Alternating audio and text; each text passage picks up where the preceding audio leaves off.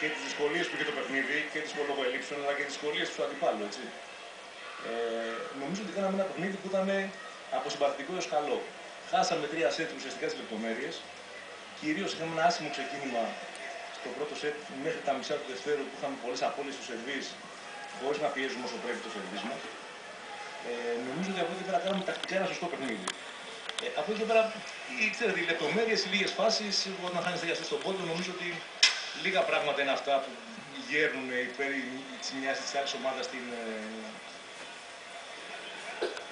Ε, πέφτει το βάρος τη μια στην άλλη ομάδα για την νίκη. Ε, επηρέασε πάρα πολύ η απουσία του Δεσπένη Σωτήρη; Νομίζω ότι η κάθε βασικό που επηρεάζει μια ομάδα. Είναι, είναι λογικό έτσι. Δεν νομίζω ότι λέμε κάτι καινούργιο τώρα τη στιγμή. Προφανώς επηρέασε. Ε, αλλά και ο Εφρεμίδης ο οποίος έπαιξε ουσιαστικά νομίζω δεύτερη χρονιά, δεύτερη φορά στην fez um